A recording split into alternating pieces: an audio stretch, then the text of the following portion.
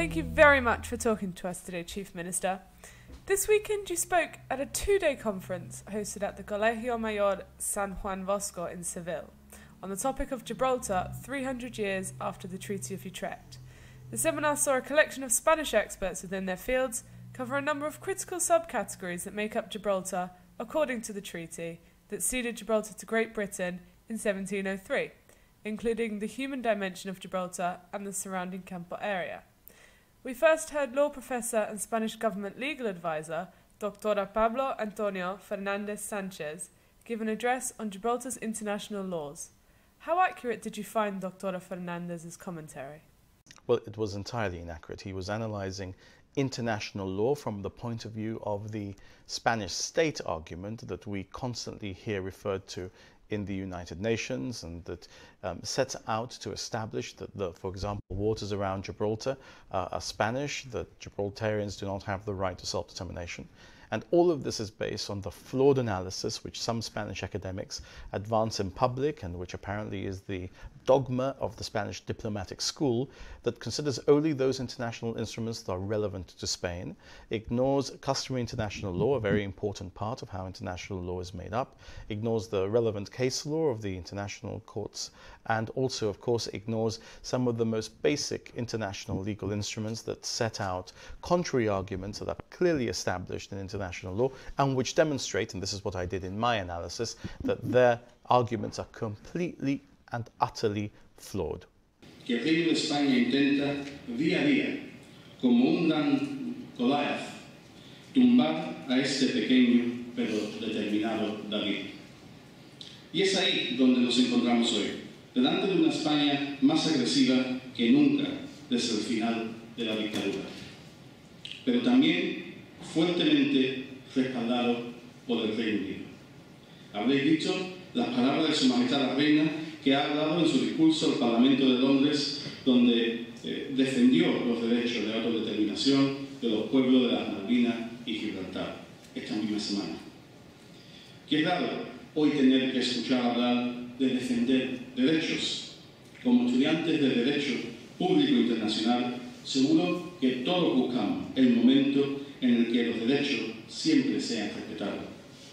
Pues vean, hoy mismo el señor José Ignacio Landaluce se ha hecho eco de las palabras de su Majestad la Reina para expresar el malestar que ha causado en España sus declaraciones. Bueno, creo que haya causado malestar a ustedes, ¿no? bueno.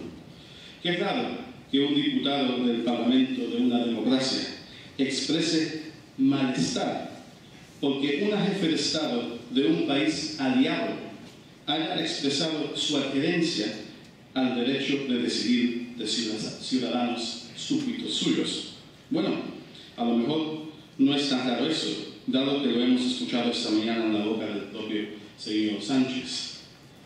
Ahí creo que yo sería, que sería útil responder a los puntos más relevantes eh, de esa ponencia Permítanme este análisis jurisprudencial del estatus legal de Gibraltar tal y como lo comprendemos los gibraltareños.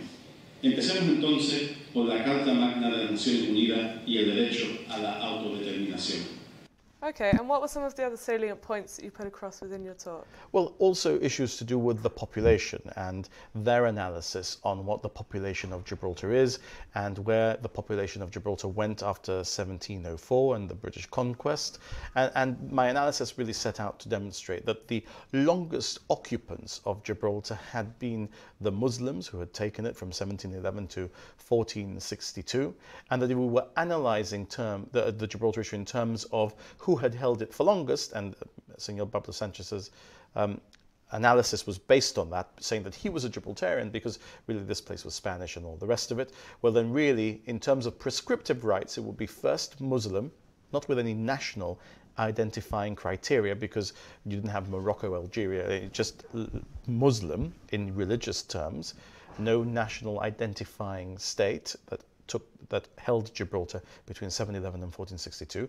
Secondly, British, because we've been British for 308 years. And lastly, Spanish, because the Reyes Católico Castilla, which then became Spain, only held Gibraltar for 240 odd years. It's for that reason that I said, look, if we're going to go back 308 years, I bet might as well start speaking in Italian because my ancestors were principally Italian. But that's not the map of the world that we're drawing today, and that's not how we resolve arguments in the modern uh, way in the United Nations, looking at the wishes and interests of people.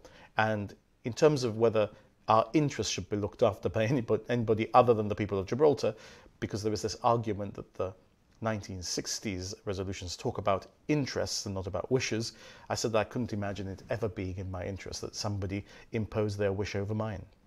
And why do you think it's important for you to speak and continue to put across Gibraltar's point at these sort of events? Because this is where opinions are formed. We were talking to international law students and to the wider community in Seville and to academia, and it's important at the level of academia to demonstrate how ridiculous these arguments are. We're not talking about arguments that are on a knife edge and one judge may decide them one way and another quite another.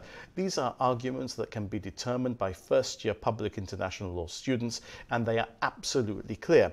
And by shaming those who advance these arguments in academia, I think that we also achieve quite a bit.